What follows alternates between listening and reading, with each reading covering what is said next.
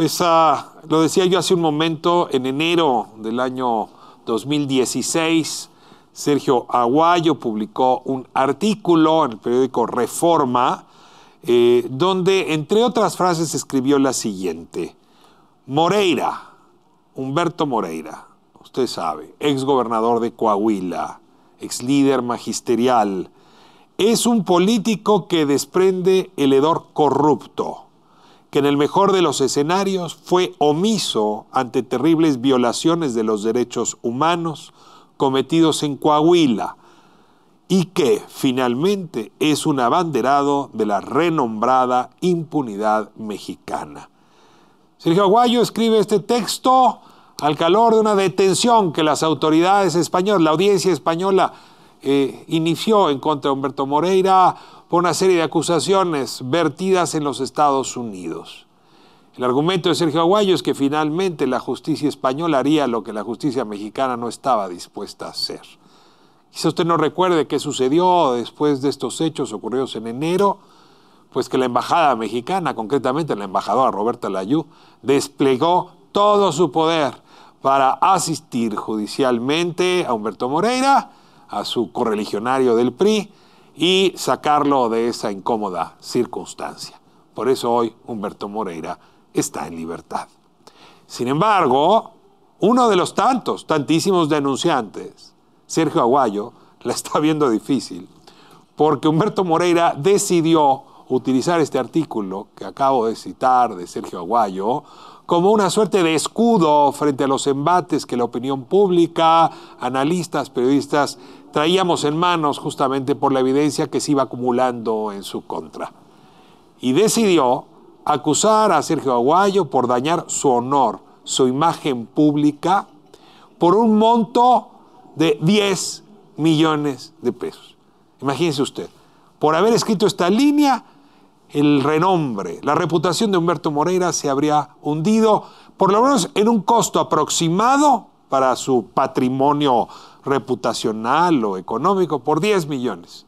Lo sorprendente es que hubo jueces que en automático decidieron, en efecto, aceptar esta denuncia y proceder en contra de Sergio Aguayo por este monto. Desde 2016 a la fecha han corrido ya varios, varios ah, litros de agua bajo el puente y eh, muchos ah, asuntos relativos a este procedimiento han ido y venido.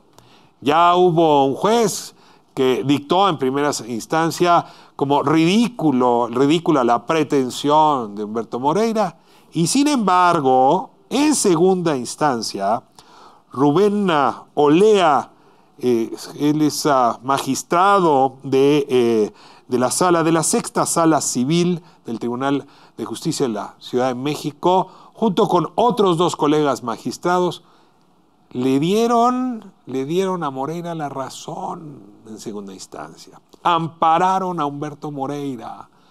Y mientras se acaba de desahogar el conjunto del procedimiento, le dijeron a Sergio Aguayo, vamos a incautar, pon una propiedad tuya aquí para proteger los intereses de Moreira, del ciudadano Moreira y por lo pronto, por, lo pronto se informaba la semana pasada, deposita 450 mil pesos para que no vayas tú a querer escapar del país, tú, Sergio Aguayo, y dejes al pobre Moreira sin su retribución. Es increíble lo que ha hecho este magistrado, lo que ha hecho este tribunal, en la circunstancia en la que se encuentra Sergio Aguayo, porque hay que decirlo, a lo mejor a usted 450 mil pesos no le parecen mucho, para algunos es una tonelada de dinero, no lo tenemos. Los periodistas no vivimos en la opulencia, no tenemos los ingresos que otros tienen, y la verdad, pedirle a un académico como, Sergio Aguayo, que aparte 450 mil pesos, pues no ha sido sencillo. Vamos a hablar un momento más con él justamente a propósito de este tema.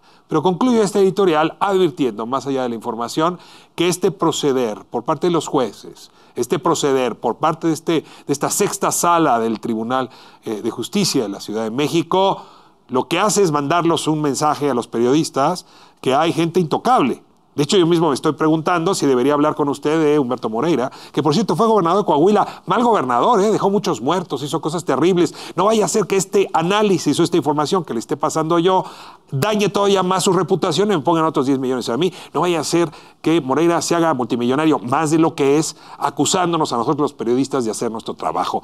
Es decir, se trata de una estrategia mordaza para silenciarnos. De eso va este asunto, no solamente emprendido por el ex gobernador de Coahuila, sino por el Poder Judicial. Así estamos. En un momento más estará Sergio Aguayo con nosotros para darnos su punto de vista. No pierda, no pierda usted su propio punto de vista sobre este caso. Comenzamos.